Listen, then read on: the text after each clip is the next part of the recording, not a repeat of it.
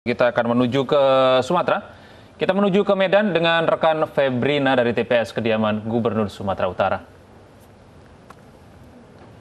Iya, selamat siang Febrina. Bagaimana uh, pencoblosan di sana. Satu warga Kota Medan sudah mulai datang ke TPS di Kota Medan untuk menggunakan hak suaranya memilih pemimpin yang akan memimpin untuk lima tahun ke depan. Nah, saat ini di TPS 46 tempat saya melaporkan langsung di TPS 46 lingkungan 7 Kelurahan Pangkalan Masyur Kecamatan Medan Johor di mana di TPS ini merupakan tempat pemungutan suara dari uh, Gubernur Sumatera Utara Edi Rahmayadi pagi tadi sekitar pukul 8.15 menggunakan hak suaranya bersama istri dan juga ketiga tiga anaknya.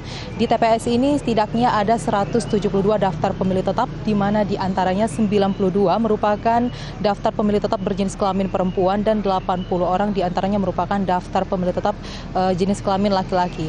Dari 172 daftar pemilih tetap yang terdaftar di TPS ini, di TPS 46 lingkungan 7 Kelurahan Pangkalan Masyur Kecamatan Medan Johor, sedikitnya kurang lebih sudah 100 daftar pemilih tetap sudah datang untuk memberikan hak suaranya sejak pagi tadi sekitar pukul 8 tadi.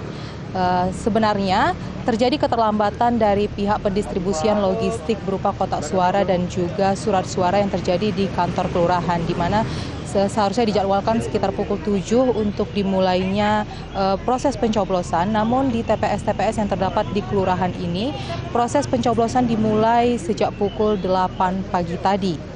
Nah, perlu kami ingatkan kembali pemirsa untuk jumlah TPS yang terdaftar di Kota Medan hari ini eh, untuk jumlah TPS yang terdaftar di Kota Medan sekitar 6.349 TPS yang tersebar di 21 kecamatan dan kota eh, 21 kecamatan di Kota Medan. Sementara untuk di Sumatera Utaranya sendiri pemirsa terdapat sekitar 41.992 TPS yang tersebar di 33 kabupaten kota, 444 kecamatan, 6.110 kelurahan di seluruh provinsi Sumut. Untuk daftar pemilih tetapnya pemirsa di Provinsi Sumatera Utaranya sendiri ini ada sekitar 9.426.220 jiwa yang mana terdiri dari 4.667.956 daftar pemilih tetap berjenis kelamin laki-laki dan 4.758.264 orang daftar pemilih tetap berjenis kelamin perempuan. Demikian saya laporkan langsung dari TPS 46 lingkungan 7 Kelurahan Pangkalan Masyur Kecamatan Medan Johor. Kita kembali ke studio.